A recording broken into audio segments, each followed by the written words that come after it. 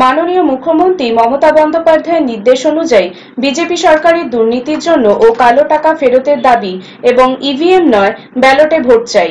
এই দাবি নিয়ে সালানপুর ব্লক তৃণমূল কংগ্রেসের তরফে রূপনারায়ণপুর পার্টি অফিস থেকে ডাবরমোড় বাজার পর্যন্ত প্রতিবাদে মহামিছিল করা হয়।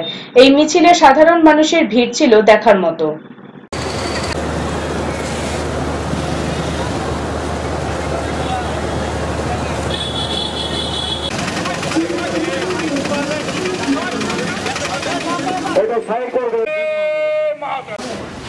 আমাদের নেত্রী নির্দেশে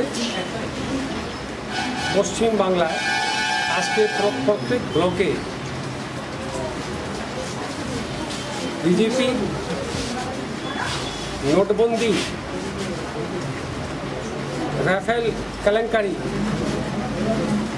এবং ব্ল্যাক মানি মাধ্যমে যেই টাকা তারা খেয়েছে, সেই টাকা জনগণের টাকা।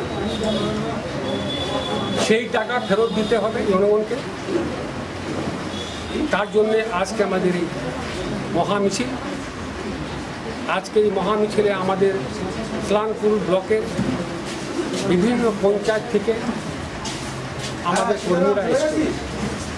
এবং আজকে এই মিছিলে আমরা রূপনারায়ণপুরে রাঙামাটিয়া পার্টি অফিস থেকে শুরু করে ডাবর মোড়ে বিজয় সুর অব্দি এবং সেখান থেকে সবজি বাজার হয়। আমরা আবার পার্টি অফিসে ঘুরে এলাম। বার্তা এটাই হলো যে যে বিজেপি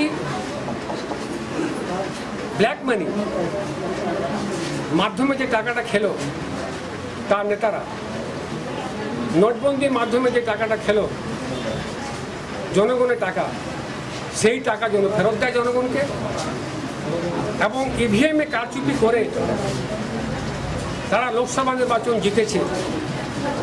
আমাদের নেত্রীর নির্দেশে ইভিএম নয় ব্যালট চাই।